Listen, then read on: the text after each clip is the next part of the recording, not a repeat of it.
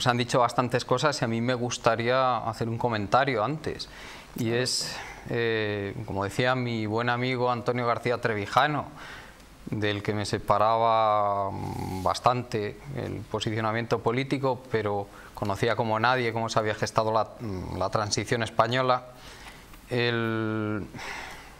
la transición se fundamentó en varias cosas.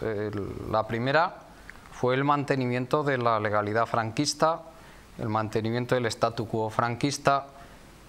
Tú, hubo que añadir, por supuesto, para que fuera una democracia homologable a las democracias occidentales, hubo que añadir a varios de los partidos, pero que aceptaban el statu quo, un statu quo que estaba dictado en buena medida por las renuncias a la soberanía que ya se había hecho durante el régimen de Franco. Eh, Dentro de, dentro de muy pocos días se va a cumplir el 70 aniversario, 23 de septiembre, de la firma de los acuerdos bilaterales entre Estados Unidos y España de 1953, que es una de las mayores renuncias a la soberanía que se han hecho nunca.